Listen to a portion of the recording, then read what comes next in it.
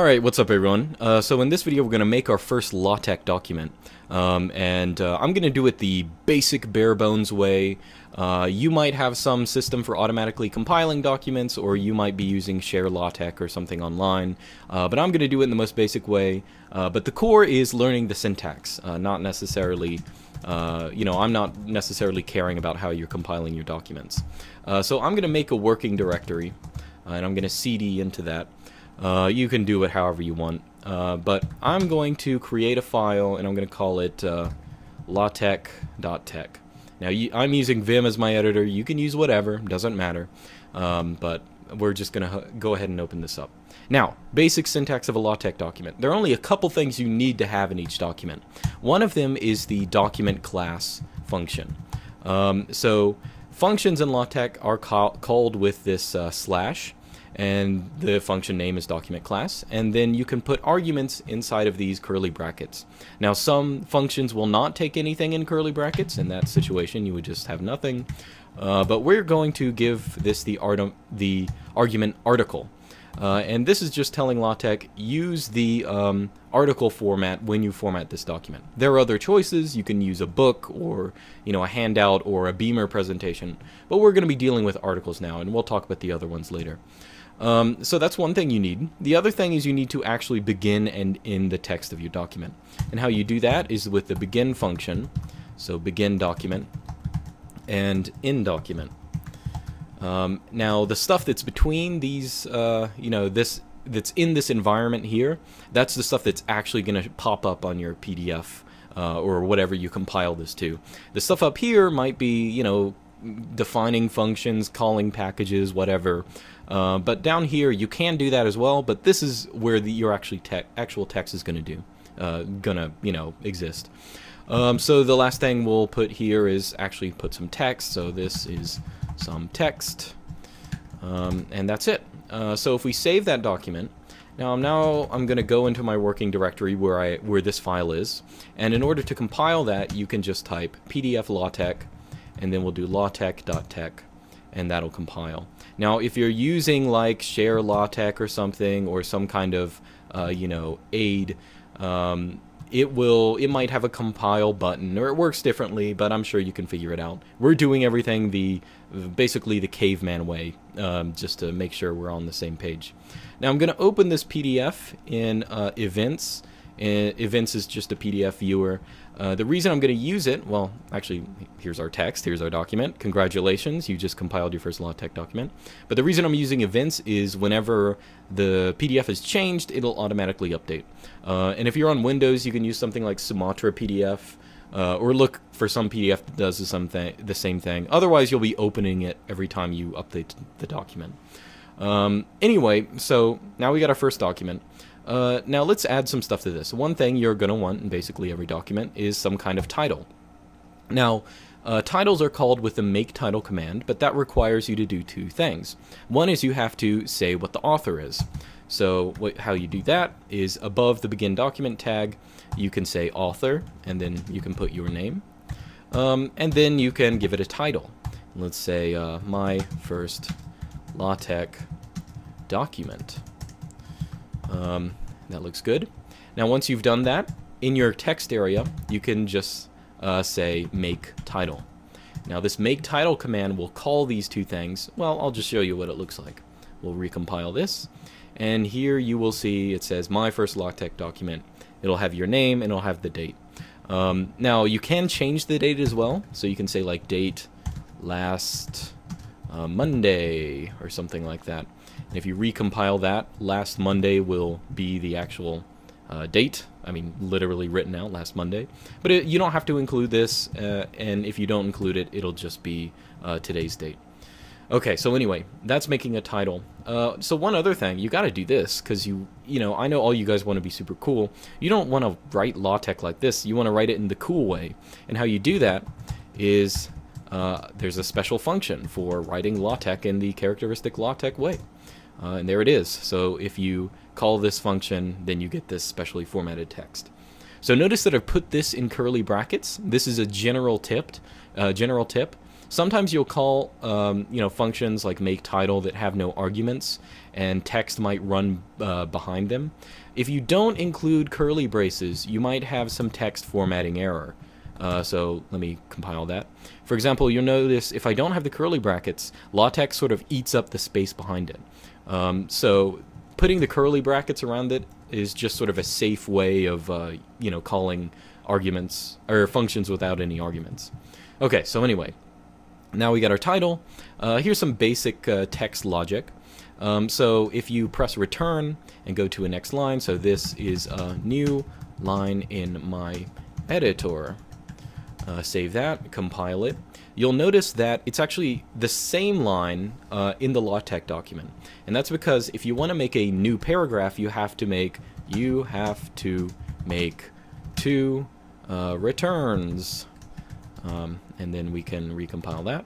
And bam, now you have two paragraphs. It's not super clear because the first one isn't very long, but if I make this a little longer, you will see that it wraps around, uh, and this is indented, this is indented automatically. Um, let me zoom out a little.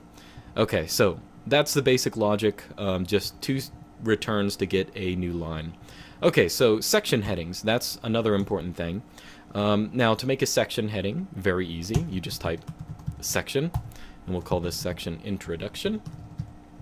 And we'll put another down here, and we'll call it, um, you know, I don't know, formatting.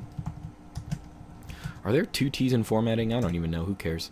Um, oh, yeah, I, theoretically I have uh, some kind of spell check. Okay, yeah, that looks right. Um, okay, so formatting. Um, so you'll notice that even though we didn't put any numbers in these section headings, uh, they're already automatically assigned numbers by LaTeX. Uh, and these will change every time that you recompile. So formatting is 2 right here. If I add another section, we'll call it, I don't know, you know, numbering, something like that. Um, if we recompile it then, you'll notice that uh, numbering is now 2. So these numbers are automatically assigned at compile time. Uh, now you can also make uh, subheadings. So for example, um, you can just say subsection, and you know we'll just call this subsection subsection. Um, and these will be again automatically numbered uh, wherever they are. So this is 3.1. So this is the basic uh, sort of skeleton of your LaTeX document. Now, just as a note, you might be looking at this and be like, uh, I don't want a document formatted exactly like this. I don't like the way the headings look. I don't like the way the title looks. And that's fine. The logic of LaTeX is you write this in syntax and you can change that stuff later. We'll talk about that later. But for now, just bear with me, even if you, eh, I don't like the way it looks. Uh, although you, are going to get used to the LaTeX aesthetic. You're going to come to appreciate. I used to try and format my documents in funny ways when I first started learning it, but there's some appeal to the like default format. You, there just is. Okay, so anyway, uh, one last thing, uh, some important formatting stuff that you got to know. You got to know how to do the basic stuff like bold, italics, all that kind of stuff. Okay, so this is normal text, nice and simple. Um, now, if you want to make some bold text, uh, what you do is you call the text bf command. So this is bold text. Okay, save that and compile it. Here we got some bold text. Uh, I'll zoom in so you can see it a little easier. Um, if you want to make italic text, you can say text it. This is italic. Um, or there's also a command which is emph for emphatic emphatic test text. This is emphatic. Nice and simple. All of them uh, work pretty much the same way. Uh, so you'll notice that italics and emphatics look about the same. In fact, they look exactly the same. Uh, but stylistically, these are different. You should use the text IT when you're using like things that are always italicized, like book titles or Latin phrases or something.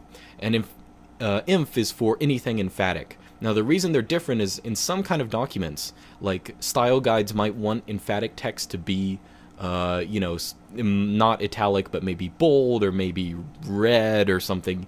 Uh, so you want to have these in different commands. So if you want, you can redefine what emph does uh, and keep text italic the way it is. So that's just a side note. Uh, but of course you have other things. Uh, underline. Here is some underlined text.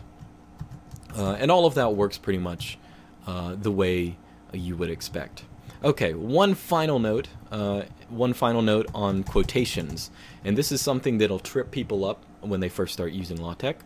Um, so let's put something in quotations. So uh, this is in quote quotation marks and compile that uh, and see what happens. Um, now, if you look really close, I don't know if you can see it on mine. You might be able to see it on yours. Um, the closing quote looks fine, but the opening quote looks just like a closing quote. It looks a little funny. Now, LaTeX, the logic of LaTeX is that everything you put in is unambiguous. Um, so this one symbol that you put in for two quotes, that always means the same thing in both of these situations. Um, now, if you want to use the quotes the way that they are meant to be used, uh, you should use two grave accents. Uh, those are the that's the accent right next to one on an English American English keyboard at least. Um, so it's the the sort of falling accent. So this is in proper quotation marks. And then you close them with two apostrophes right next to each other. And if you recompile that, uh, you will see, oh look, that's exactly what we want it to look like. Or you can have the same thing and have only um, single quotes around it, and that's going to do what you expect. Just make sure to use this uh, special opening quotation. Alright, so now we've covered some really basic stuff about the formatting in LaTeX. Uh, so a lot of this might seem arbitrary uh, because the magic of LaTeX is not necessary, you're not seeing it. But in the next video we're going to start talking about labels and references uh, and soon bibliographies and you'll see the real magic of this.